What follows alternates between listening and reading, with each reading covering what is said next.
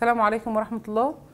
معكم دكتور سالي عبد العزيز في منهج semiconductor of microelectronics المفروض إن إحنا بناخد الجزء العملي فيه. هناخد دلوقتي تجربة ال Hall effect أو تأثير هال هال دوت عالم ألماني واكتشف ظاهرة بتحدث في ال semiconductors عايزين الهدف من التجربة إن أنا أعمل investigation of the Hall voltage in semiconductors.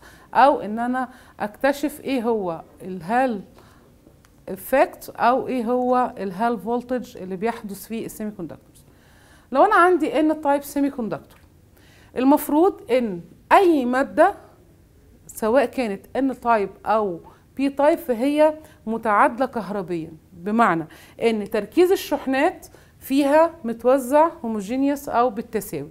فلو أنا بتكلم على N-type يبقى معنى كده إن ال majority charge carriers هي ال electrons ودي uniformly distribution داخل distributed داخل المادة فبالتالي ال concentration بتاعها في أي منطقة ثابت. لو أنا جبت فولتميتر وبدأت أقيس فرق الجهد بين أي سطحين متقابلين هلاقي إن ال potential difference بتاعي أو فرق الجهد equal zero مفيش أي فرق في الجهد. طب هل هيعمل إيه بقى؟ هيجي يأثر على ال extrinsic semiconductor ده سواء كان N-type أو P-type إحنا هنتكلم على ال N-type semiconductor هيبتدي يأثر عليه بمجالين. electric field و magnetic field بشرط إن الاثنين دولت perpendicular to each other يعني عاملين زاوية 90 درجة. أنا عارفة من قاعدة فليمنج لليد اليسرى إن ال electric field بيكون في اتجاه الوسطى ال magnetic field في اتجاه السبابة فبتنشأ عندي ال force في اتجاه الإبهام. تعالوا نطبق القاعدة دي هنا. فين؟ أدي ال electric field ال magnetic field لأسفل يبقى ال force عمودية للداخل. أدي ال F أو ال force اللي نشأت عندي. ال force اللي نشأت دي هتأثر على ال free charge carriers اللي موجودة اللي هي في حالتنا دي عبارة عن ال electrons. فتبدأ تعمل diffusion of electrons في اتجاهها يعني هتاخد الإلكترونات وهتحرك بيها في اتجاهها. ألاقي إن الظهر بتاع ال sample أو العينة اللي عندي حصل عليه تركيز أعلى من ال electrons. وفي المقابل السطح المقابل ليا أو اللي قدامي ده electrons مشيت وسابت مكانها فإحنا قلنا إن دايما الإلكترون لما بيمشي بيسيب مكانه فاضي المكان الفاضي ده بنسميه hole يعني السطح ده أصبح فاضي من الشحنة ومحتاج إلكترونات عشان يحصل له حالة من ال saturation. أصبح دلوقتي اتكون عندي فرق في الجهد بين ال two plates دولت. أصبح plate عليه شحنة سالبة اللي هي الإلكترونات نتيجة إنها اتزاحت في اتجاه ال force والسطح المقابل ليا فاضي من الشحنة أو بقول على إن هو holes فبالفرق الجهد ما بين ال two sides دولت بتوع الكريستال ده اللي أنا بسميه ال Hall voltage أو ال VH خلي بالك ده يختلف تماما عن فرق الجهد العادي اللي إحنا عارفينه. فرق الجهد العادي بيكون فين؟ لو أنا بتكلم أدي electric field بيمر يبقى التيار بيمر معاه وفرق الجهد موجود بين الطرفين دول. لا ده الطي... ال electric field في اتجاه. ال magnetic field عمودي عليه فرق الجهد نشأ في الاتجاه الثالث المتعامد على ال electric field وال magnetic field في اتجاه ال force اللي نشأت عندي. تمام كده؟ أنا عايزة أشوف دلوقتي إيه ال parameters أو إيه ال factors اللي بتأثر لي على ال VH ال VH أو ال Hall voltage دوت مين اللي أنشأه؟ ال force طب ال force دي ناتجة من إيه؟ من ال electric field وال magnetic field يبقى الهدف من التجربة إن أنا عايزة أشوف تأثير ال electric field على ال Hall voltage كل ما بزود ال electric field strength هل ال Hall voltage هيزيد ولا يقل؟ وكذلك ال magnetic field strength وتاثيرها على ال Hall voltage بس نتفق نتفق ما دام في two parameters بيتأثروا مع بعض بيتغيروا مع بعض يبقى لازم بثبت واحد وبغير التاني. فلما آجي أشوف ال effect of electric field على ال Hall voltage لازم at constant magnetic field ونفس الكلام لما آجي أشوف ال effect of magnetic field على ال Hall voltage لازم أثبت ال electric field التجربة ببساطة أنا عندي N-type semiconductor هبتدي أثر عليها ب electric field ال electric field ده يعني إيه؟ power supply وال power supply ده ولو أنا عايزة أبتدي أتحكم في فرق الجهد بين طرفين العينة عشان أتحكم في شدة التيار اللي بيمر فيها أو ال current اللي بيمر فيها هنسميه ال IE يعني التيار بيتحكم فيه ال electric field فهستخدمه متغير أو إن أنا بستخدم معاه ريستيت ايا كان الاثنين ما فيش أي مشكلة. عايزة أقيس التيار اللي بيمر؟ هنحط على التوالي اميتر طيب عايزة اثر perpendicular ب magnetic field إيه اللي يديني خطوط فيض متوازية؟ ال coil. تمام.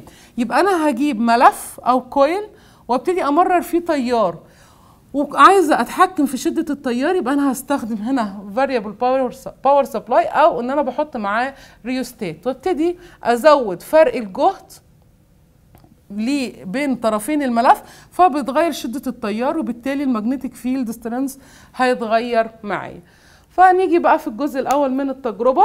هبتدي أزود ال electric field وأشوف ال Hall voltage ال electric field strength هزوده عن طريق إن أنا أزود ال current من خلال ال power supply يبقى ابتدي أزود الاي اي وأشوف الفي اتش لما نيجي نرسم العلاقة ما بين ال IE اللي تمثل لي ال electric field strength مع ال Hall voltage هلاقي إن أنا كل ما بزود ال electric field كل ما ال Hall voltage بيزيد وده شيء طبيعي. لأن أنا لما بزود ال electric field يبقى بالتالي بزود ال force وبالتالي بعمل diffusion لعدد أكبر من الالكترونات فال Hall voltage بيزيد.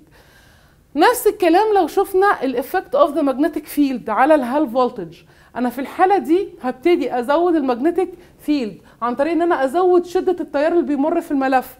لما أزود شدة التيار اللي بيمر في الملف يبقى هزود ال magnetic field strength طب زودت ال magnetic field strength يبقى زودت ال force يبقى بالتالي هعمل diffusion أكبر لعدد من الإلكترونات. يبقى كل ما بزود ال magnetic field وبنعبر عنها بال magnetic بال current اللي بيمر فيه ال coil هلاقي إن ال Hall voltage معايا بيزيد بالمنظر ده. يعني العلاقة directly proportional ما بين ال magnetic field strength with the Hall voltage طيب أنهي تأثيرهم أعلى؟ هنلاقي إن تأثير ال electric field أعلى من تأثير ال magnetic field يعني أنا لما بأثر بيه تيار مباشر داخل ال sample هلاقي إن ال Hall voltage بيزيد معايا جامد جدا. ولكن تأثير ال magnetic field بيكون أضعف بكتير من تأثير ال electric field على ال Hall voltage تمام كده؟ ده كده الجزء النظري. هنشوف مع بعض الجزء العملي.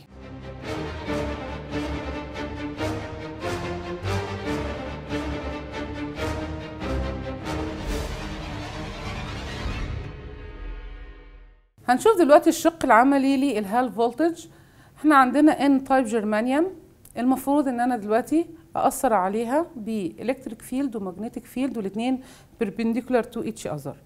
ال sample الموجودة قدامنا ليها الطرفين اللي هما الاحمر والأزرق دولت عشان أوصلهم بال power supply يبقى واخدة طرف على ال power supply ومن ال power supply عشان يقيس ال ammeter ال current هوصلها مع الأميتر ومن الأميتر قافلة مع ال terminal الثاني أو الطرف الثاني لل N-type germanium اللي إحنا عايزين نقيس ال Hall voltage فيها.